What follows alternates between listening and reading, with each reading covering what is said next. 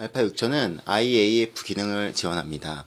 IAF는 인물의 눈을 검, 검출해내는 기능입니다. 버튼에 IAF 기능을 할당하고 이렇게 인물에서 그 버튼을 눌러주면 사람의 눈을 검출해 줍니다. 사람의 눈에 정확하게 초점을 맞출 때 유용합니다.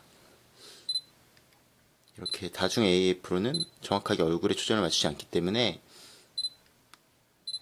눈에만 초점을 맞출 때 유용합니다. 기본적으로 얼굴 인식 기능을 사용하면 IAF가 적용된다고 보시면 됩니다.